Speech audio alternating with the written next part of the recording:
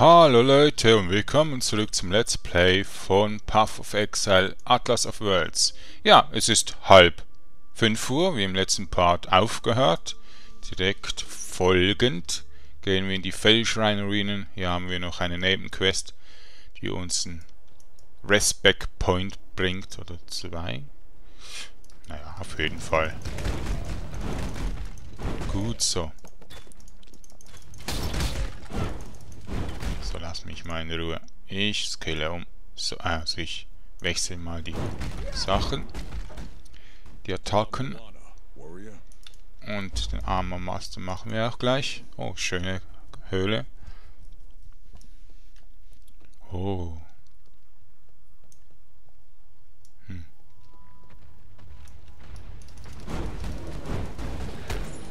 Seht ihr, wir sind schon recht viel schneller. Es waren nur 4%, glaube ich, oder? Was wir geskillt haben das letzte Mal. Und jetzt machen wir nochmal... Das ist, glaube ich, auch 4. Das ist 2 nur. Und dann nochmals 4. Ich habe mich wieder sehr gut vorbereitet, weil ich das gar nicht gemerkt habe, dass ich da irgendetwas sagen will.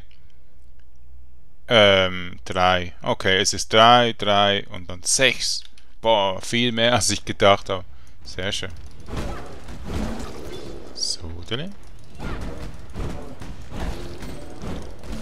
Und wir haben ja viel IIR gesammelt.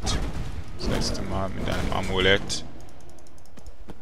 Und einem Helm, glaube ich. Und das macht natürlich auch viel mehr ja, Spaß vor macht IIR, also mir macht Magic Find immer viel Spaß. Dann bin ich momentan auch nicht so froh über Titan Quest Anniversary Version, da kann man kein MF nehmen. Finde ich schade. So, easy. Hm. Nichts gedroppt. Ja, die müssen wir nicht besiegen. Da machen wir ab. Ich glaube, die geben keine Erfahrung, keine Items, nix. Sind einfach Spiegelbilder von den Toten. Die im Weg herumhocken. Oh. Falsche Seite. Ja, das ist zu nervig. Es ist oft so, dass die wiederbelebt werden. Sie sollten uns aufhalten. Gut. Ah ja, wir haben ja Ding, wir könnten noch kurz Properties nehmen.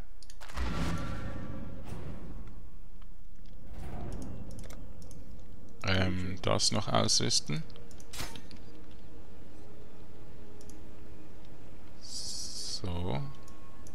Arctic Armor ist das. Ähm. Seek Properties.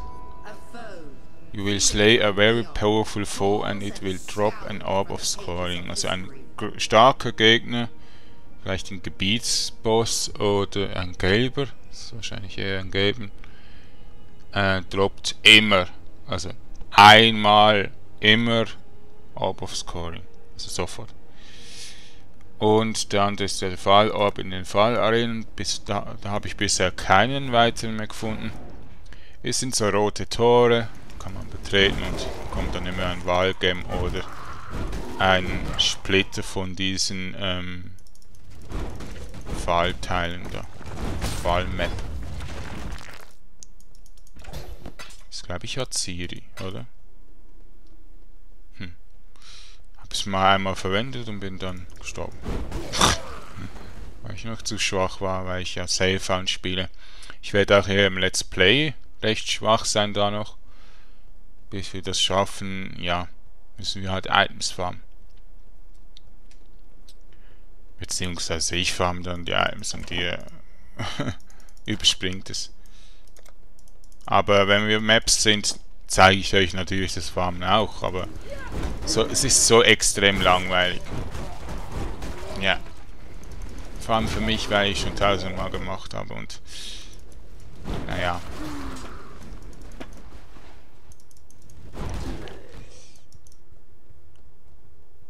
Ich weiß ja nicht, wie ihr so drauf seid, ob ihr Debris seid. Könnte ja sein. Und wenn ihr dann das schauen müsst und dann merkt, oh nein, der macht schlechte Video und dann ich nie mehr einschaltet und so, dann bin ich nicht so gerne gut, nicht so gut drauf. Ähm, ja, weil ich will ja auch ein bisschen berühmter werden. Das will ja fast jeder für. Manche machen tausende Werbungen, nerven mit Livestreams die ganze Zeit. Ja, 10 Abos gehen 5 Abos und so Sachen. Ja, wie machen die das? Hä? Sagt euch dem. Fragt mich. Ja, äh, erklärt mir mal das. Wie machen die das? 10 Abos gegen 5 Abos. Haben die 10 Kanäle, die sie dann... Dann muss ich auch 5 Kanäle haben. Geht's noch? Und dann gibt es so wie Leute wie ich, wo überhaupt keine Werbung macht, außer äh, bei Google Plus, das ich jetzt ausstellen musste. Die haben einfach mal gesagt, ich würde spammen. Ich habe überhaupt gar nicht gespammt. Ich habe gar nicht gewusst, dass es auf äh, Google Plus verwendet wird. Dann habe ich das ewig lang suchen müssen. Und dann haben sie gesagt, sie werden 20 Tage gesperrt auf Google Plus. Ich bin noch gar nie in Google Plus aktiv gewesen. Dann habe ich natürlich Re äh, Rekurs eingelegt und so. Dann haben sie gesagt, sie wurden gebannt für 10 Tage. Okay, sie haben ähm, mich um 10 Tage weniger gebannt. Ja, vielleicht. Aber stellt euch das mal vor die sind so dumm und so werbelastig und alles mögliche, dass sie nicht mal aufklären, dass sie einfach 10 Tage weniger gebannt haben. Sie haben einfach nur, nur noch mal geschrieben, ja, sie wurden wegen Werbung gebannt. Ja, was werden andere Leute? Andere Leute, also ich habe bei Google Plus andere Let's Player gesehen, die machen die ganze Zeit solche Sachen. Die werden nicht gebannt. Nö. Ich weiß nicht, vielleicht bekommen die einfach Geld für die guten Let's Player oder so. Da machen sie das nicht. Aber ja, auf jeden Fall ist es sowas von unfair. Ich habe es jetzt ausgemacht. Jetzt warte ich die 10 äh, Tage. Und ich lasse es aus. Also jetzt kommt bei Google Plus bei mir gar nichts. Ich bin so auf Twitch aktiv und ein bisschen auf Facebook, aber mehr brauche ich nicht. Ich brauche nicht noch Instagram, ich brauche nicht noch äh, weiß auch nicht, was für Sachen, was die Let's Player alles haben, aber mich nervt es einfach, dass die Let's Player alles machen und trotzdem noch sehr beliebt sind. Die, die, die verarschen sozusagen die Zuschauer nur. Und, ähm, ja. Sollten ja berühmt werden durch diese Scheißwerbung, aber ich werde nicht Scheißwerbung machen, dass ich auch berühmt werde. Ich will schauen, dass ich die Zuschauer auch so binden kann, indem sie einfach meine Videos schauen und sie gut finden. Und dafür brauche ich auch eure Hilfe ein bisschen. Zeigt mir die Schwächen, die ich noch habe, was ich noch machen kann. Ah, das ist der Gebietsboss. Und so dachte ich schon, das ist irgendwie so ein dummes Vieh. Ein äh, Rock Exile. Hm. Ja, also das Gebiet ist jetzt fertig. Eines meiner Hassgebiete irgendwie. Es ist zu groß, zu flächenartig. Und so weiter. Aber es ist schon schön. Hm. Mal schauen, wie schnell ich berühmt werde. Weil je mehr Leute mich auch sehen, desto mehr Leute können mich auch gut finden, oder? Und ähm, ich bin ja einer, der interaktiv ist. Also wenn ihr irgendwelche Wünsche habt, ich werde es machen, wenn es nicht allzu doof ist. Oder zu langweilig für mich oder für andere. Oder sonst irgendwas.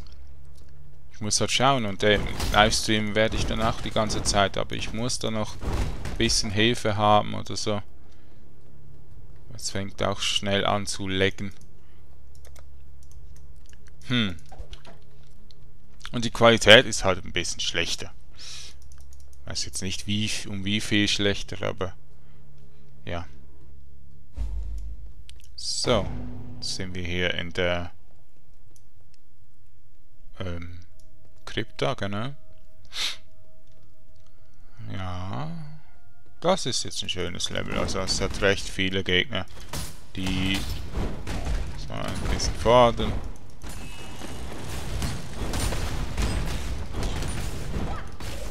Viele Fernkämpfer fahren Magier. Und viele solche Kisten, Schätze und boah. Aber es gibt ein Property, das extrem lange geht, weil wir müssen einen bestimmten Gegner in ähm, Rare, also in, ja in Rare, einfach in Gelb, besiegen und der tritt extrem selten auf. Ein Zombie? Oh.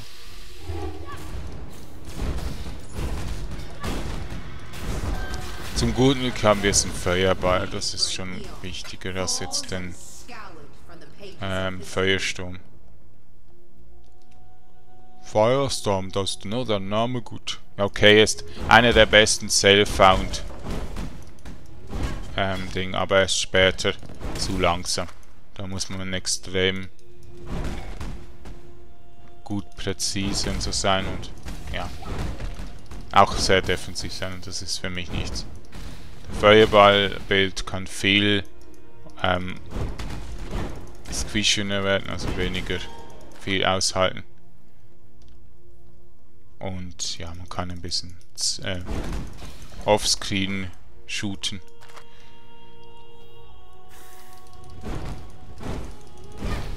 Seht ihr, habt ihr gesehen da oben den Gegner? Haben einfach getötet und drei, also zwei noch mit Der auch? Schön. Ah, ich liebe den Bild. Wie findet ihr den Bild so? Langweilig? Ist schon ein bisschen langweilig, aber andere Builds sind mir einfach zu komplex und wir können dann mal so ein Warp-Bild oder so machen. Einer, der richtig toll und spaßig ist zum Spielen. Aber ähm, der wird dann wahrscheinlich auch viel zu leicht sein, wenn wir dann die Items haben müssen wir dann schauen. Und ich werde sicher Path of Exile 4 streamen dann, wenn ich es kann. Und ähm, ja, das Wichtigste ist einfach, dass ich dann noch einen kleinen Chat habe irgendwo.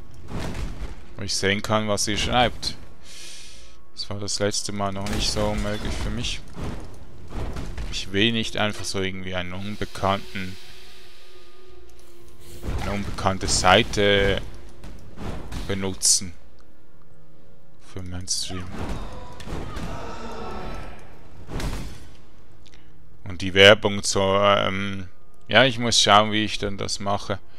Ähm, der mich dann abonniert und so, also subscribed und so nicht einblende oder einblende und einfach nicht nervig machen. Jeder äh, Livestreamer habe ich schon, ja, ein bisschen beobachtet, den ich mag. Vor allem Wolfruss und so und es nervt mir einfach die ganze Zeit. So extrem laute, oh, just subscribed. Nee, danke.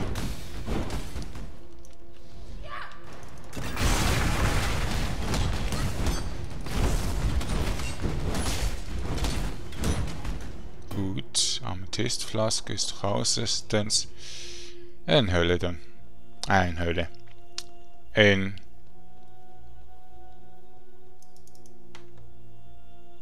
Merciless. Sag's richtig. ich spreche, also im Kopf spreche ich eigentlich alles auf Deutsch aus. Englische Wörter. Aber ich bin ja eben im Englisch lernen und da kann ich das auch richtig aussprechen. Aber lernt man Merciless schon im, ähm, im Englischprogramm? Nö, glaube noch nicht. Aber das Programm sagt, wenn man das durchgemacht hat, dann kann man perfekt Englisch. Also fließend Englisch. Yeah.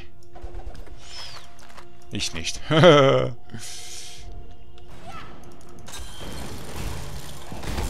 Danke. Ja, genau, ich sollte mal schauen, dass ich so ein Flask bekomme. Mit Antifreeze. Ja, habe noch keins. Das ist eines der schlimmsten. Ähm, auch gibt es glaube ich nur in rare Chests. Der hat Frenzy Charges, die grünen. Dann gibt es die roten, sind die Endurance Charges und die blauen sind die, ähm, sag schon, Power Charges. Ähm, die einfach Crit geben, den Zauber noch ein bisschen. Ich dachte immer, die geben Schaden, aber nur Crit-Schaden. Weil ich sie nie verwendet habe, noch nie. Außer durch einen Stab, der die gibt, aber ein Low-Level-Stab.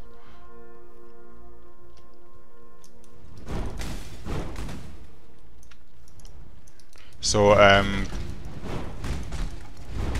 Vasen und so mache ich ja nie kaputt, aber wenn ich so AOE-Ding habe, mal kurz drauf schießen. Vielleicht kommt da etwas raus. Da habe ich auch irgendwo einen Geist gehört. Da oben. Komm schneller.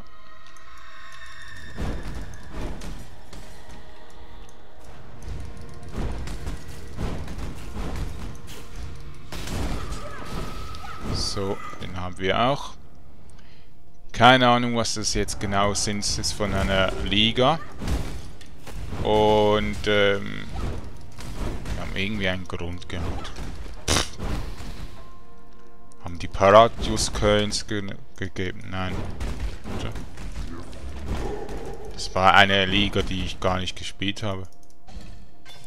Es gab mal eine Liga, die habe ich nie gespielt. Softcore. Ich spiele immer Softcore. Nicht, weil ich eine Memme bin und nicht Hardcore spielen will, sondern weil ich meinen Charakter liebe und auch weiterspielen will. Falls ich mal wirklich Brain AFK war oder einen Fehler gemacht habe einfach. Oh, Fusing? Okay. Boah, was ist denn das für ein Kerker? Das ist kein Krypto, das ist ein Kerker. Von Dungeon, ähm, von Zelda. Ich finde Kerker der bessere Name als Dungeon. einfach zu viel Deutsch.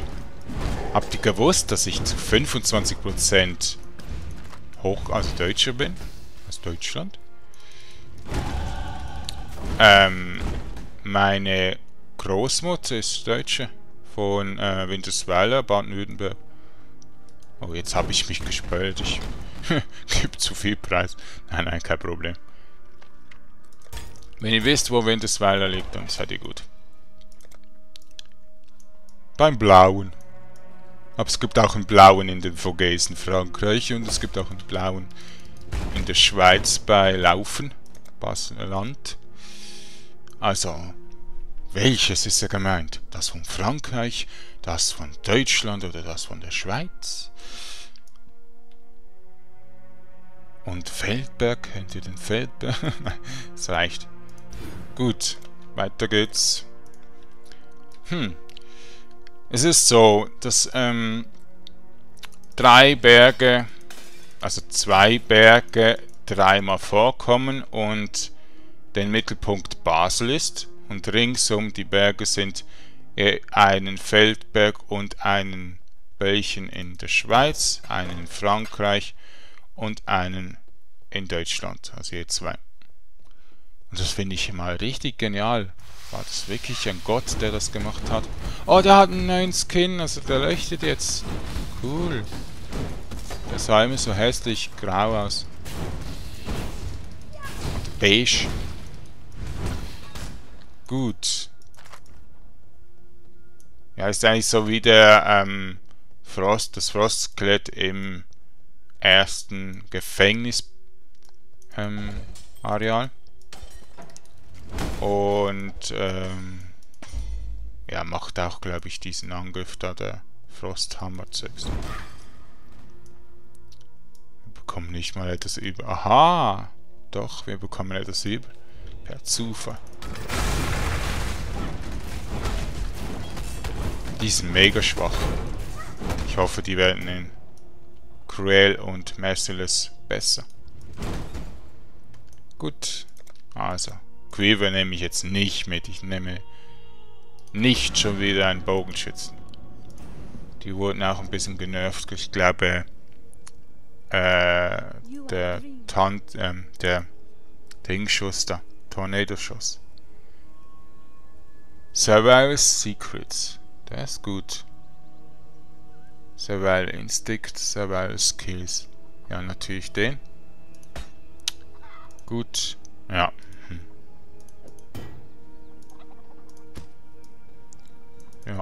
So. Also, da müssen wir ähm, noch ein bisschen warten. Wir haben noch keinen Slot.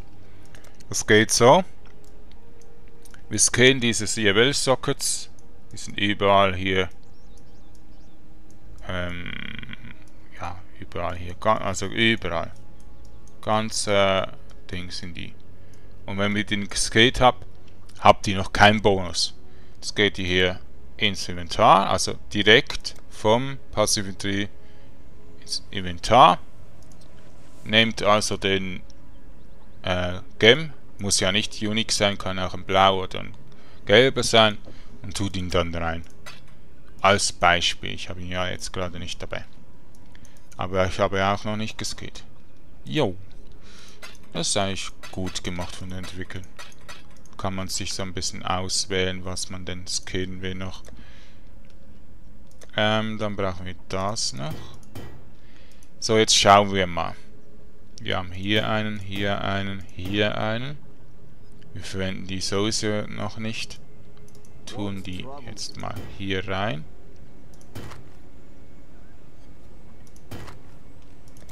So. Haben wir also hier noch mehr. Gut, haben wir ein bisschen Platz. Jetzt haben wir einen starken. Der ist stark. Also Muttringe sind die starken. Ne? Gibt dann sicher bessere noch. Dann machen wir den noch. Ah, den haben wir jetzt bekommen. Da war 4, gell? Dann kommt Weeping. Oh, schaut euch mal den Damage bei Einhandwaffe. Das ist doch geil. Wir sind nur Einhand. Wir können schon Zweihand nehmen, aber dann verlieren wir ein bisschen noch. Sieht auch viel besser aus jetzt. Also einer, zwei, drei. Okay, nice, nett. Gut gemacht. Aber eben auch wieder so ein Geld.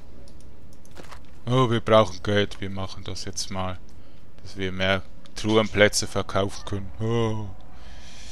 Hm. Ist ja bei ja, bei Diablo 3 ist es weniger schlimm, aber da muss man alles zuerst freischalten. Das ist nervig. Ja, äh... Ist nicht so gut. Ich kann nicht immer falsche Charakterklassen Sachen nehmen. Hm. Ja. Nehmen wir den, hä?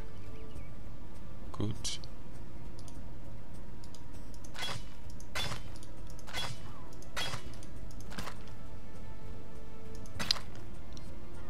schlechte Sache, ne?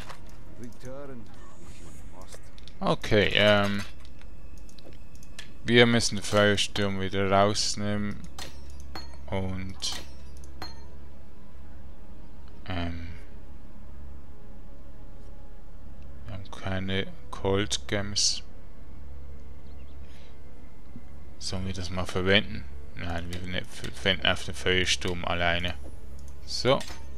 Und noch den ja, Orb of Storm brauchen wir. Gut. Dann haben wir das. Ähm. Hier, genau. Okay.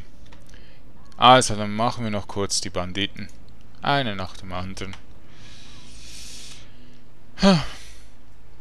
Der andere dann im dritten, also ja für mich die dritte Aufnahmesession. Heutigen Tag, aber für euch ähm, im nächsten Part einfach kann jetzt nicht sagen, was ich genau sagen möchte. Schön, wir machen so viel Damage, hä? Wir machen auch Cold Damage drin. Und Daytonium, jetzt nervt mich bitte nicht immer mit diesem rein und raus, gell? Dankeschön.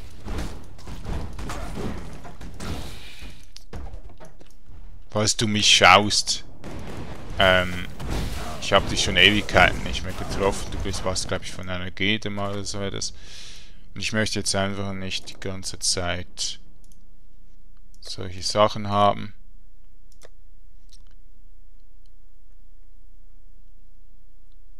Der Deutonium. Und Friend. Chris. Und Friend kenne ich nicht. Der Mega Cool Man kenne ich nicht. Der Madame kenne ich nicht. Nein, das sind meine zwei guten Kollegen. Also Madame jetzt nicht mehr so ganz. Er ist halt auch viel beschäftigt, aber ein alter Minecraft-Kumpel, der auch gerne mal ein paar Verfeckersäulen spielte. So, ähm...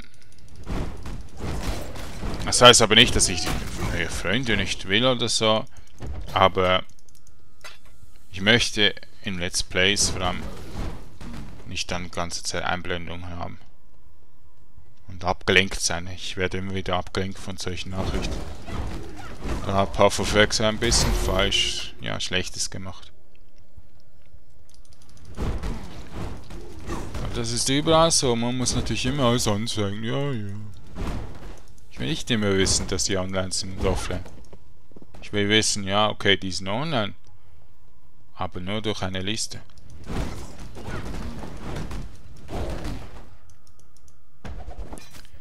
Geht so gut zum Spielen. Das ist so geil. Ich fühle mich so OP.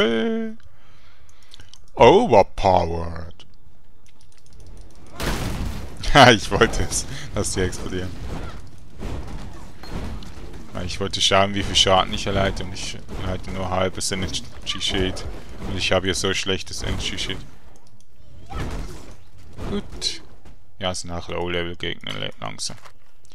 Also. Oh, die Zeit rast weg. Schaffen wir nur noch diese. Hm, Mist.